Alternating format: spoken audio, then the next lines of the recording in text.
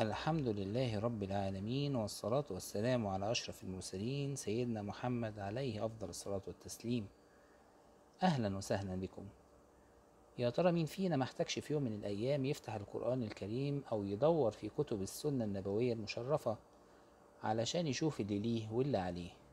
هركز في كلامي على السنة النبوية المعطرة لو قررنا ندخل أي مكتبة وطلينا على كتب الحديث الشريف وقعدنا نقلب فيها هنفتكر إن الموضوع صعب جدا جدا جدا.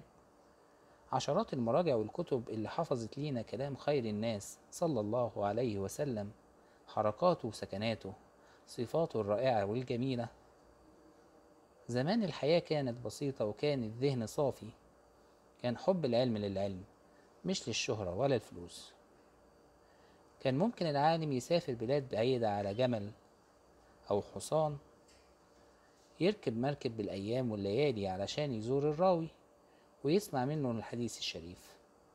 كانت ناس عظيمة وأكيد ربنا عوضها خير كتير قوي طب وبعدين إيه اللي حصل؟ الدنيا اتطورت والمراجع كترت قوي وإحنا لا حول لنا ولا قوة. الحياة بقت أسرع مادية أكتر خلتنا كلنا نجري ورا لقمة العيش. أمهات كتب الحديث 14 كتاب.